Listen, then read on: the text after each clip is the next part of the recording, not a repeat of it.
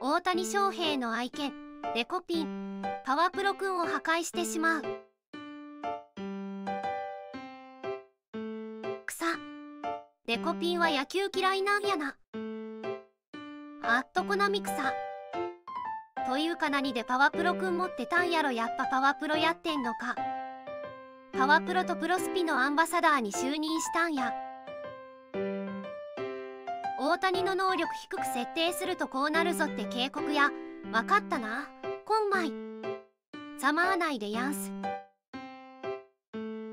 パワポケでありそうなシーン。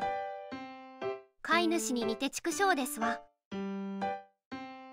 うつ伏せに倒れてるの芸術点高い。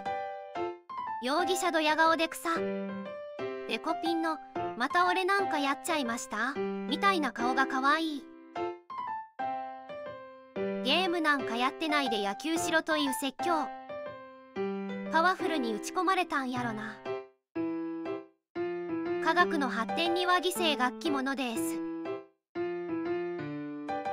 日ハムを中心に動画をまとめていきます。